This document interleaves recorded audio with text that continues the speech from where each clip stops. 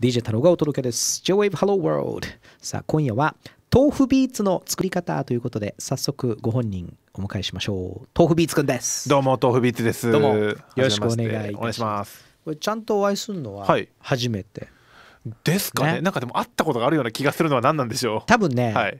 どっかで会ってる。今日はちょっとそれもじゃあ探っていきましょうかね、はい。はい。探りましょう。ちょっとはい。J-Wave のなんかの前後っていうのはまず一つ、はい。あイベントではい。DJ で入れ違い。あだったんですよ。ナイキだ。そうそうそう。そうそうそうそう。そうだけどだ、なんかちょっとお話しするタイミングがなかったですよね。ですよね。そうだそうだ。そうでしたね。そうなんですよ。この間あのタクシードのね、来日の時ビルボードで、はい DJ 回してらっしゃって、はいそうなんですよ。そうプあのねこんなこと言ったらはい。ごめんなさい、プレー上手でありがとうすわございます本当にい。やいやいや、はい本当に。いや何がね僕すごいあの良かったかって、はい。あの豆腐くんの音をいろいろ聞かせてもらってるんですけど、はい。まああの日は、まあ、はいタクシードだから、ね。ああいうちょっとこうファンクグルーヴなねねブギーをはい。感じだったじゃないですか、でそれが懐かしいのもね、はい。よく知ってるしそこにちょいちょい新しいのこう入れてくるあたりのあのミックス感がもうたまんなく良かったです。ありがとうございます。いくつの人なんだろうって本当に真剣に思っちゃいました。いや本当前日に急いでねあのジェイクワンのソロとかを集めたりとかしましたんでいやいやい。やいやすごいかっこよかったです。ありがとうございます。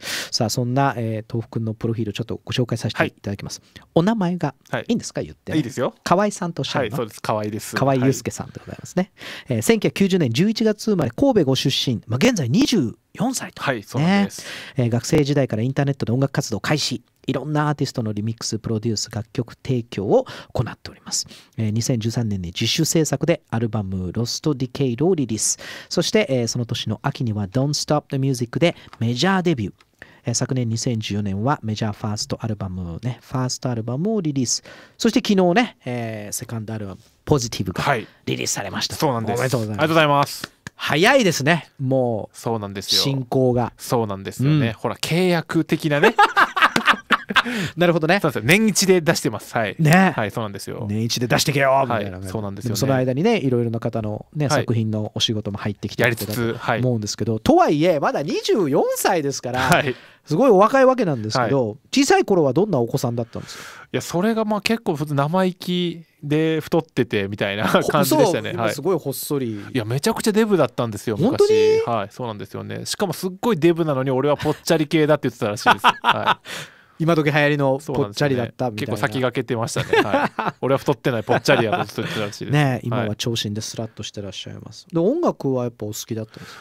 そんなにでも実はめ小学校の頃とかあんま好きとかそんなんじゃなくて、まあ、普通にこうテレビに流れてるの見ていいなとかはあったんですけど、世の中的な。うん。まあ、ピアノも一応やってみてははい。半年ぐらいでやめちゃい。ピアノとかで本当にあとはもう卓球とかやってました小学校の頃は。あもうどっちかっていうとスポーティーなスポーティーっつっても卓球なんであれなんですけどでも卓球は真面目になんかねクラブチームみたいなところに入ってやってましたはいシェイクハンドですか？や僕あのペンでした。ペンですかね、はい、流行りに逆行してそこははい。ペンで。はい。なんかねやっぱ DJ やってる人はねシェイク行かない人多いんですよね。毎回俺聞くんですけどそうなんすか？卓球やってた初めて聞きましたね。僕もペンだったんですけど、あそうなんですね。相当やってましたね。ちゃんとねラバーを張り替えて,、て そうそうそうはいやってましたね。はい。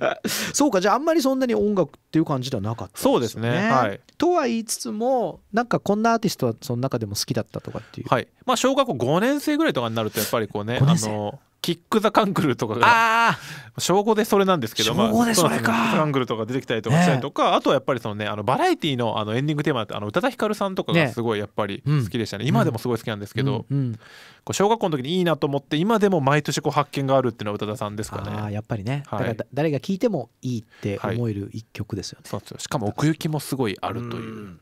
じゃあですね、はい。えーそんな、えー豆腐さんでございますけど、はい。ちなみに小学校1年生ね今小学生の話しましたけど、1997年、7年えー、東京 HOT100、1997年年間チャート1位はジャミロクワイの「コズミックガール」これ知ってます？いいですよね。ねはい。いい年ですよね。これ年間1位ってすごいいい年ですよね。いい年ですよ、はい、おしゃれな年ですよね。いい年ですよ、はしかもミュージックビデオでね、い。なんか何千万もする車ただ運転してるだけのもうめっちゃ気持ちよさそうだ。いいっすよね。ねそんな時代でしたけど、ね。じゃあはい。ここでですねそんなこう豆腐くんに小学校の頃ハマってた曲を選んでもらってます、一曲お届けしましょうか、はい。曲紹介お願いします、はい、じゃあ聞いてください。宇多田ヒカルさんでオートマティック今今聞いてもかっこいいっすねやっぱりね。ね。もうあと出音がレンジがめっちゃ広いんですよねいきなり、ねよくできてるわ。いい仕事しますわ、ね。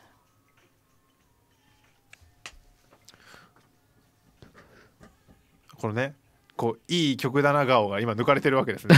そうです。宇多田さんいい曲だな顔がかな。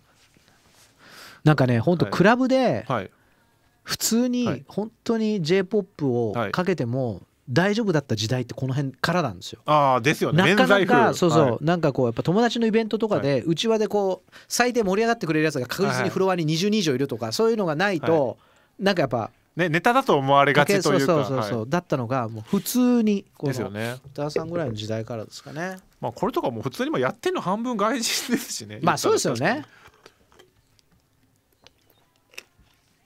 でもこれ本当いい曲だなしみじみっすねそうですね。これこそだって宇多田さん中学生とかですよねこの時中15歳とかですよ。ねえやばくないですか？えやばいですよねこれねおか。しいですよね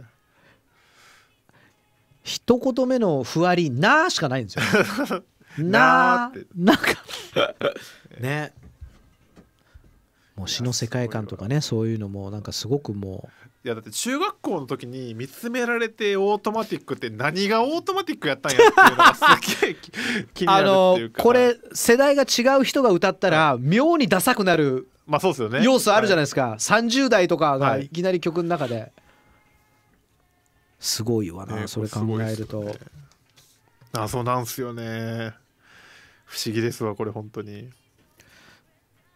ですね。宇多田さんの曲本当僕も好きなのいっぱいあるんだよな。結構前半の頃のですよね。この時は本当にプロダクションもこう最高にいいというかそこう後期の自分でやってからのやつもすごいいいんですけど、ううん。ああとこのこのリードが本当何なんだろうっていまだに思うんですよね。何の申請なのかなっていうの。プロフェプロフェット5だと思うんですけどねぽいんですけどなんうん。かこんな伸びるっけみたいなのとか思うんですよね、でもなそうですよね。まあ、エフェクトかけてるかもなそうなんかいいマイクっぷりとか入ってるみあたいな。いーやもうでもまあちゃんとねあのまあレコーディングもはい、そうですよね。いろいろすやっぱ本当にこう好きにね。金かけてできた、そうですよね。あのいい時代。いい時代の僕らが知らないやつ。のもうはい。後半の時期だと思いますけどね。ホトダさんですもんねこれ確かやってんの、うん。ゴーさんが。いいっすよね。もうもうこもうこのこの辺のトークからかなりこうちょっとディープなね、はいはい。話に。まあ裏では。裏はね。裏はこういうそこう中身の話を感ぱ太郎さんみたいにこう分かりがちゃんとこうねあのいやいやいや。やってくれるやってる人はいえいえシンセがどうとか分かる方なかなかね。いえいえ。まあリアルリアルタイムっていうかね、はい。ちょうど時代を本当に生きてましたからね。いやいやでも本当に。本当にあのそれこそ中学生の時に、はい。あの当時のし渋谷の楽器屋で飾ってあった DX7、本当何回ほんそういう時代ですから。はいはい。はい本当チャリンコで走ってどうやってにあの盗んでやろうと思ってまもしたね、うトランペットみたいな感じでね。はあっつって。僕それ MPC でした。はい。ねはい。APC2000 2000ぐらいの時代。僕でも1000です。もう。あーもう1000です。かはい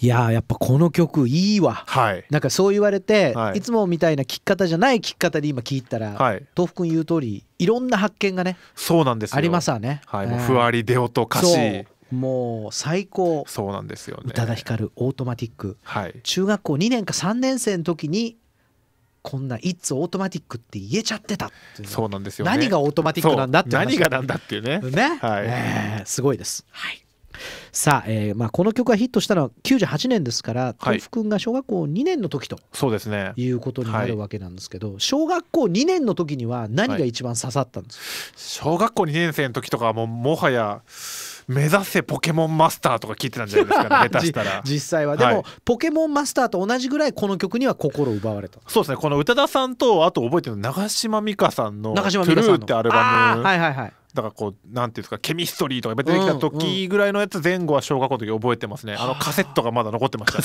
でも一応カセットなんですね。そうそこの時はまだカセットでうちに MD なかったですね。でもなんかやっぱ最初はちょっとメロ、もっとメロメロディーに反応してたのかもしれないですかあとやっぱりその女性ボーカルうん。でちょっと洒落たやつって今でも好きなんですけど、はいはい。なんかそのラインはずっと当時から好きみたいですね。なるほどね、はい、なるほどえーそんなですね、えー今日は豆腐ビーツの作り方をお届けしております。j w は a い v Hello World 豆腐くんがどうやって作られたのか。ね。その人生を振り返りつつそんなはい長くないで、あの意外と結構いけば、はい。あのだいぶ振り返れるんで 今日番組内でね。そうですね。はい、えーで、えーここまではですね豆腐ビーツになる前のあの河合少年でございますけど、今度は中学時代はどんな少年だったのか、まあ、大体2000年前半、はい。2002,3年ぐらい。そうですね。時ですね。あのまあ小学校でまああのいろいろあって勉強して中学校から勉強して弁護士とかに、ね、なってこう尊敬される宗教に就こうと思って中学校行ったはいいものの、ええ。中1の6月ぐらいの時にもう友達から日本語ラップを教わってしまって 結構どっぷりハマってもうダメだってなっちゃうもう弁護士やめよようみたいな。そうですね。法律でライム刻もうっていうふうにはなんなかった。音楽楽しいなみたいな。なるほどね。勉強のこと忘れちゃって。あーでも中学ぐらいになるとねそうはい。いう周りの友達からねいい影響音楽もねいろいろ聞く機会がありますよね。そうなんですよね。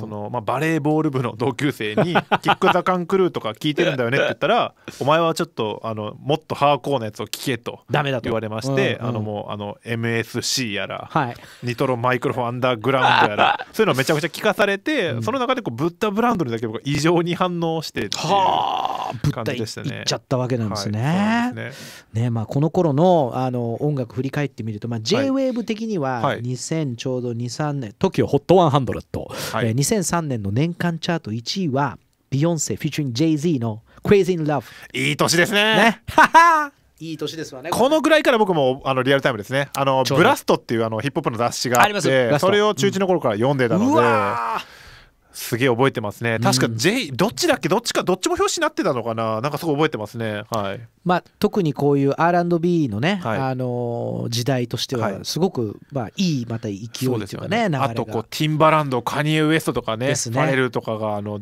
あの NERD の方で出てきたりとかしてうんこうすんごい面白かったんですよねね。何でもかんでも、うん、ワクワクしたね。すっごい覚えてますね。時代ですよね、はい。ちなみにあの中学時代はやっぱまだ CD の時代、もう全然 CD ですね。CD の時代。あとあのデジタルもあったはあったんですけど、うん。中学生ってクレジットカードが持てないじゃないですか。そうか購入できない。そうなんですよ、ね。だからやっぱりこうあのレンタルビデオショップが結構生命線でなるほど。あの食費にもらった金で あの飯食わずにあのパンとあの紅茶だけ買ってで残りのお金であの頑張ってあの CD を借りて毎日やってました。伝る伝る感じですよね。伝ってましたね。えー、あから順に伝ってましたね。はい本とりあえ当にず端からはい。見て、新譜もですけどね、はい。どんなのがこうその過去とかにもあるんだとかねそうですね。気になるでしょやっぱり、はい、少ないお金で最大限聞こうと思ったらあの自然と給付になっていくっていうのがあって確かに確かに。それでもう全力で借りてましたね本当に。ね、給付のはい。方がちょっとお値段も安かったりとか1週間借りられたりとか、ね、そうなんです。100円コーナーがあったりとかね、します。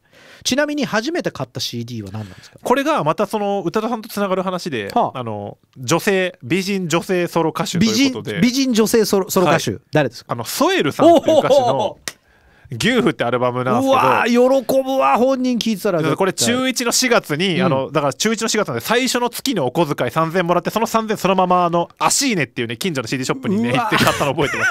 足いいねはい。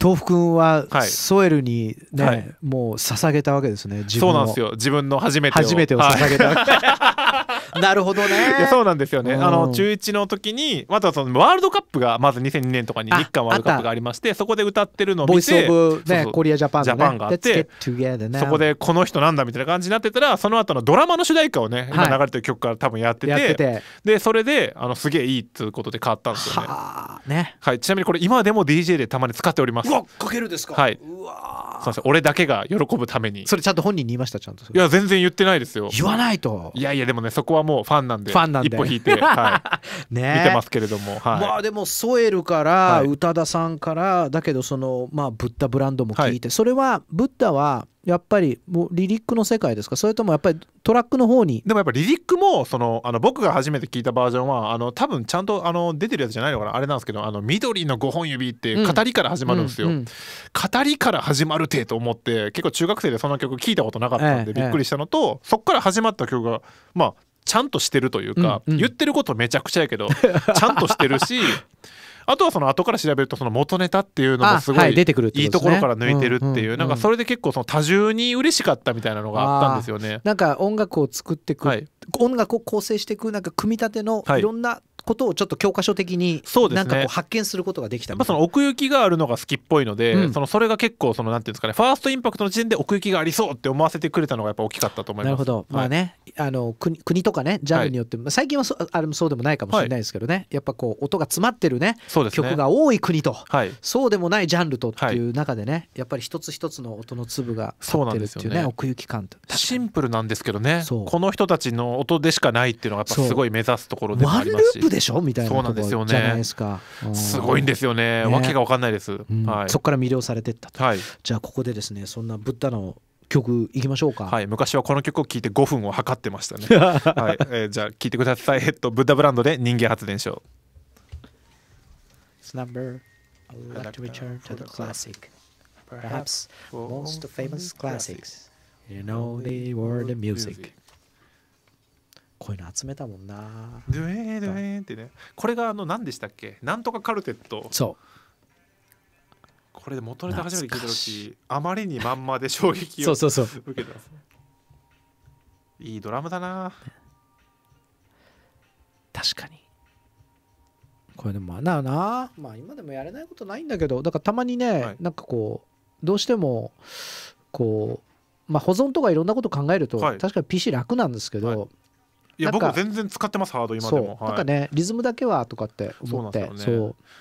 でもなんかやっぱりこうその時の最大限で MPC だからいいみたいなのがあるあってあるそう。今使うとなんかこうなんかそういう真似してる感じになってやっぱ良くなんないんですよねどうしても。確かに。いろんなこと考えちゃうでしょ？そうなんですよ。だってあの当時は本当にあのね僕とかも MPC にあの本当キーボードをね、はい。それこそマルチティンバーでつないでみたいな、はですよね。だから MPC をシーケンサーとしてもそう使うっていう。シーケンサーとしても使わないと。じゃないと非常にもったいない。ですよね。そう。めんどくさいけどそれでねレコーディングの時に、はい。あの取り込みの時にこうシンク引っかかんなくて、なんでだろうとか言って言いながらね。MPC あるあるそうそうそう。 MIDI が本当クソっていう、ね、そうなんですよ、ではいはいなんかそれだけで23時間かかっちゃってなんかねディレクターとかはい。だんだん顔がちょっと怖くなってきたりとか、あと一応言っておくとあのクソじゃなくてあのたまにずれるっていうねすいません言い過ぎました。あれ、はい。でも、はい。あれが分かんないんですよね、はい。なんでそのあれがズレが生じるのかとか。でもあれ結局最終的にあの MIDI を吐き出したのをあの PC に一回取り込んでみてガタガタじゃんってなって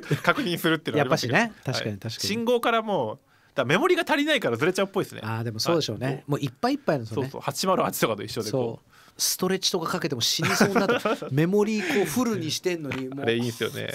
美人人間味があるっていうか。そうそうそう。ウードウード BG って出てるまだみたいな。スカジーで読み込まなかった。りとかあそうですね。ありました。で保存できてると思って保存できてないっていう これが一番ねもそうね。うショッキングな。なんかあの某今 CM でなんかあのパッドを叩いてる CM が今流れてて、うん。あの某サブスクサービスのあ CM で,、はい。であれもともとは現地で MPC2000 が用意されててあのそれ使ってくれみたいな感じであの向こうのスタッフがあの「Here is it」みたいな感じで渡されたんですけどあのバッチリ全部フロッピードライブ壊れてて。ダメだ。そうで AD の子が急いであの MIDI パッド 買ってきてその場で仕込んだって めっちゃ面白かったんですよね。ねめっちゃドヤ顔でいい2000状態のいい2000を。持ってきた。見てみーってなったんですけどドライブバッチリ壊れてて。そこね盲点盲点ですね。ね。いまだにそう確かに。フロッピー。僕なんとか頑張って、はい。あの自分のスタジオにいい状態のやつまだ2つキープしつつ2000ですか？2000ですよ、へー。Excel え2000と 2000XL2 はいはいはい。つあって、あと笑っあのね62もあります。あ60 そうそう。60動きます？動全然まだ。60動きます。動きます。すごいな。60ちゃんと置いてる人見たことないですね。3000ぐらいしか。ですね。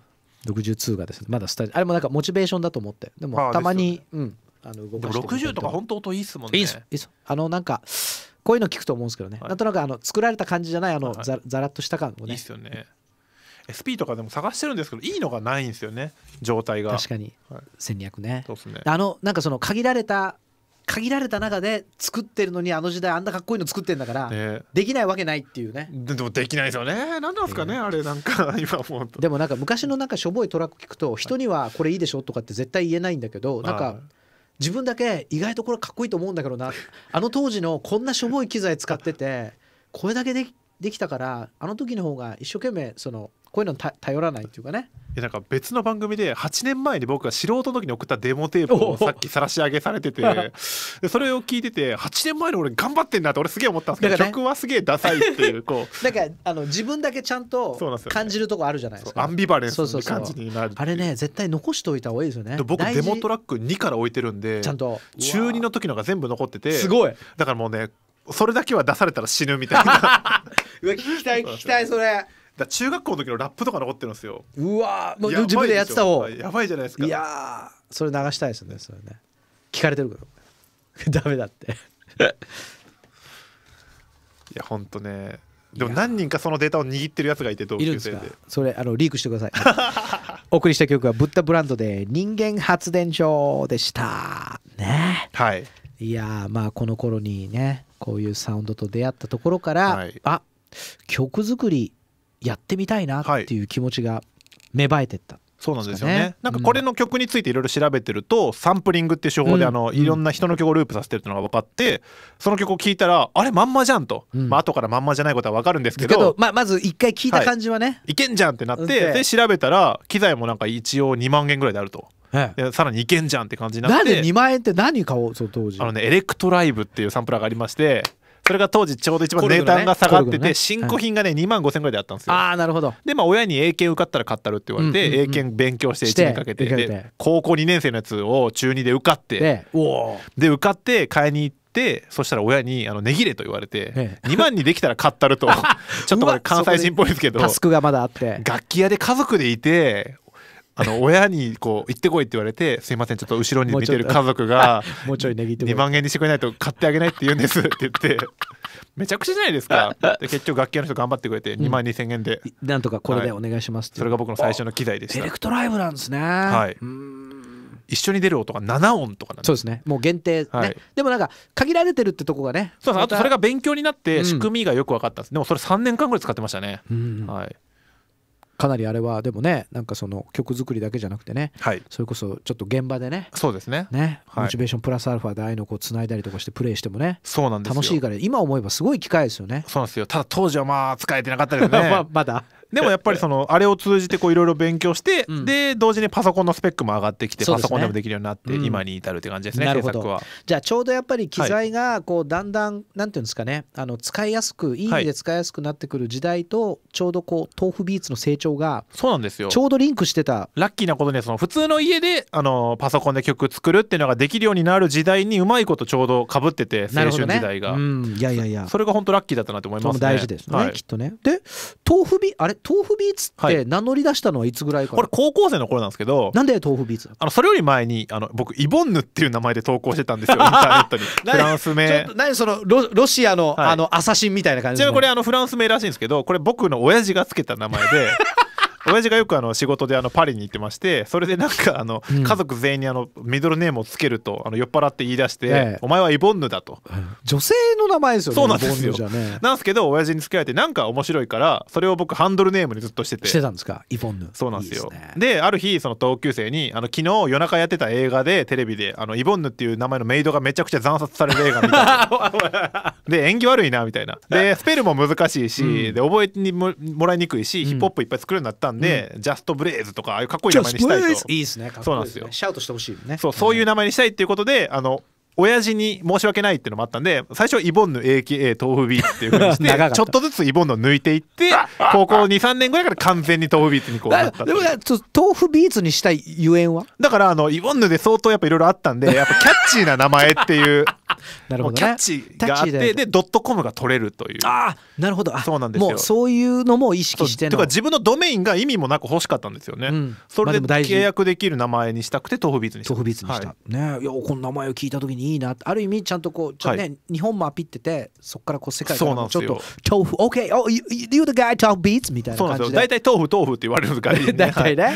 えー豆腐ビーツかスイーズビーツかみたいな感じじゃないですか、そうなんですよね。であの高校時代、はい。まあ、本格的にいろいろとねはい。もう音楽のこうエンジンがはい転化する感じですか、そうですね。もう高校3年生からはあの初めてレコードをもう切ってもらうことになるので高校2年生ぐらいからもうそのちょっとした制作の仕事はもうやってたの？そう仕事でいただけるようになった高校二年生で？二ですね。はいうわ今日のあれだな、数学のあれ終わってからでいいですかみたいな感じいや本当にあ打ち合わのちょっとせする時とか中間試験があるのであの納期無理ですとか言ってました、はい、みたいな。それ大学出るまで言ってましたからね。うわ、はい。すごいな。それはとか言って大体結局テストとかぶってくるみたいなのがあったんですけど。はい。のでもそれね納期がテストがとかってねちょっと言えないですよね。なんかテストがって言うとね、いやでも僕はその時あの食ってく気が全然なかったんで、ええ。普通にあのテストあるんで無理ですとか言ってて今考えたらめちゃくちゃなこと言ってるなって思いますけど。ちょっとかっこいいですけど、ね。はい。それはもうなんか機材を買ってやりだしてもうどのぐらい経ってってから。中学校2年生で本格的にもう始めてるので、だからもう高校23年になるともう34年目とかになってくるんで。なるほど。キャリア的には。そうですね。もすごいわ。でで例えば、まあ、高校時代がですね、はい。えーとまあ、例えば2005,6年頃、はい。で TOKIOHOT100 チャートの当時1位はですね、はい。ダニエル・パウターの「バッデイなんかうまいことジャンル散ってますよね」知ってますわねこれね。時代あのジャミロクワイ来て JG 来てええっていう、そうなんですよ、はいこれもなんかねクラブとかでもなんか疲れたなって頃にかかるとなんか朝方にそう朝方に。かかるとね意外とみんなねあのほろ酔いでいい感じにこれがなんかこうっていうね不思議な朝方にこう知ってる曲かかる感じ。いいですね、はい、その頃はどんなアーティストハマってたんですか？でももう高校生になるとちょっとヒップホップからちょっとさらに広がってそのサンプリングで作ってるっていう意味で、あの渋谷系聞いたりとか、うん。あとはもうクラブミュージックをもうかなり DJ も始めるんでどっぷりと。聞くようになってますね。この時はシカゴハウスとか好きだったんじゃないですかねすごい。うーん。やっぱそういうこうちょっと荒めの音楽が好きだったみたいです打ち込みの、ちょっとこうローファイなねそうですね。感じですよね。はい、じゃあちょっとそんなはい。一曲次行ってみましょうか。はい、ちょっと次ねあのこの人日本のアーティストなんですけど、はい。あの CHERRYBOY FUNCTION という、うん。えーテクノのミュージシャンであの、はい。我々が本当神と崇める素晴らしいアーティストなんでよかったら聞いてみてください、はい。じゃあ CHERRYBOY FUNCTION さんで「The Endless Lovers。もういいわ。字だった。もうぜぜ」字だった。ぜすみません。もうでももうこのイントロからいいわ。ね。これ大好きなんですよね。またこのアーティスト名がまでねすっげえいいっていうか高校生の胸に刺さる、そこのね。こここのねそうそうそう分岐点ですよね。そうなんですよね。ね。でも本当にこう我々この曲を聴いて育ったと言っても過言ではないぐらい好きな。すごい。でもその高校の頃に、はい。なんかそういうなんですかテクノミュージッはい。クラバーなクラスメートとかそういうのいた？いなかったですいなかったです。ネットです全部。あそうかそうか。であとはその中学校の頃からネットで一緒にやってた人たちと高校ぐらいになると会えるようになってくるんですよ。バイトできるようになるんで夜行バス乗って東京来れるようになって。あそうか。よく知ってるけど、はい会えない3年も会ってなからった。で高校23年ぐらいでやっと会えるようになっていってこう会う旅をこうするようになるんですなるほど。DJ とかとついうでに。わーなるほどねそれでもう4年ぐらい顔知らなかった人と初めて会ってでもなんかなもういきなり仲いいみたいな、うん、もういっぱい会話してるしねそしたら一緒にそのクラブいなんか行けるようになってきたりとか、まあ、関西18で行けたんで当時は条例が、で遊び行ったりとか。そうなんだ。関西18でよかったそうですね。実際に18で証明できたんで。東京もやれやそれ。でも今はでももう自主規制というか無理なんじゃないですかね。まあね、はい。あのなんかよく場所によってはこう、はい。お酒飲みませんっていうのを、ね、そうそうだからあのつけてって言ってバツつけとけばみたいなとこだったりとか。あってでも終電でね帰りつつ行ってましたね。うわそっからじゃあいろんなね、はい。リアバーチャルから今度リアルなねそうなんですよ、交流がね。そしたらやっぱ急にクラブミュージック面白くなってくるんですよねやっぱりこう。やっぱしあの分かると。なんかクラブミュージックってやっぱ本当はやっぱフロアで鳴ってて初めて成立するお客さんとかいろんなものがあってのものだけどでもどうしても音源だけで聞いてるとそうなんですよね。その一部しかねはい。聞けてない状態そうですなんですけどそれをよね。でこう両輪で楽しめるようになるんでかなり体感しちゃうわけで。面白くなってきたはあ普通ねクラブで初めて聞いて好きになるもんなんですけど僕ら逆だったんで面白かったですね。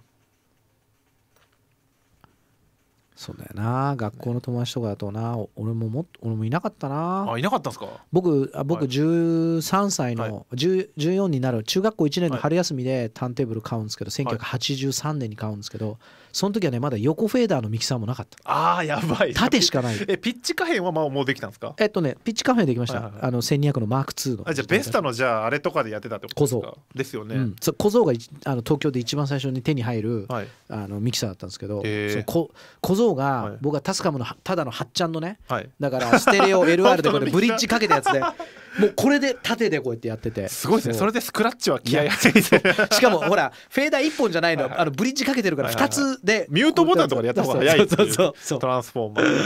そで僕あの一時期本当あの昔のあの DMC とかが好きすぎて、ええ。あのクロスあのトランスフォーマーボタンついてるミキサー買ってうましたよ、ああれがはい。あの当時またわけわかんないのがあってあの押した時にオンになるのと押した時切れるっていうのがあそうどっちもあるんですよね。そうはい。ふざけるなと思って。ありますあります。そうそうそう。わかんねえよ逆逆みたいな。そう。反拍ずれんの全部みたいな。あれ面白かったな。そう。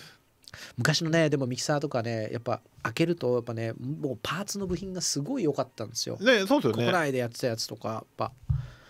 だね。あ昨日か一昨日その話したんですよね、もうね絶対処分してると思ったのね、あのいろんなのジュラに入ってて、はいこれはもうちあれだろうなと思って、まあ、一応なんか取ってあるけどもうどうしようかなと思ったら、もう絶対なくなってたと思ってた小僧が出てきた。そのいい話。小僧のミキサーと、で電源入れたら入った。え。小僧のミキサーと小僧のディレイっていうのがあって、はい。ハードの、はいはいはい。1U の小僧のディハーレイフラックですそかですよね。があって、はい。なんでこんなの買ったんだろう当時。でもなんかあのイベント用の音源とかで最後ダーダーダーダーって飛ばしたかっただけだったんですよあなあのついてないから別で買わないと。そいつで買わないと。それをがあってうわーと思って。やばいっすね。ディレイまだ音出ますよ、はい、僕らたまにハードオフでそういうの買いに、はあ言って、い、してますねやばいもう高校生でこれを聞いて、はい。い、いねって感じになってたの？なってましたね。めちゃくちゃかっこいいですね。いや本当でもあの本当にね毎日あの乗り換えの駅をちょっと2駅先まで伸ばして歩いてこれ聞いてましたね。うー、ん。なるほどすね帰り道を思い出せますこれを聞くと。ね。でもはい。当時学校の友達はこれをシェアできる関係はあったんですか無でしたねなかったですないどうやっはてこういろいろ情報を得たりとかやっぱこうネットであー。そうですよね。あこの曲知ったのも多分ネットだったと思うんですよね。仲間がいて、はい、あとはネットラジオとかで聞いたりとかしてこういうこう新進気鋭のテクノミュージシャンみたいな感じで聞いてな。んじゃこれみたいな。仲間は近くに住んでたの、い。やもう全員ね東京とかなんなら地方とかにもいっぱいいて、うん。で高校生になるとこうバイトができるようになって。あお金貯めてそうなんですよ。東京行くぞと。100円ショップでもうガンガン働きまして それであのそのお金東京行ったりと細か、あとはまあ本当近所のそのちょっと大阪京都とかで出るのもお金いるんで、うんそれ出たりとかしてましたね。そうですよそっからやっとこうリアルにねいろんな人とのそうなんですよ。交流からこうクラブミュージックのね。2年越し3年越しにねハンドルネーム何々さんに会うみたいなう感じで。わでももう超仲いいそうですねもういきなり。何年ももう会話してるわけですからね。そうなんですよね。なんか変な感じでしたけどね。はい。いいっすね。さあそこからですね、はい。どんどんどんどんこう豆腐くん固まってくるわけですね,、はいすね。柔らかい豆腐がだんだんこうエッジが効いてくはい。るわけでございますね、はい、さあこの後はですねお知らせを挟んで今度は豆腐くんのニューアルバムについても伺っていきます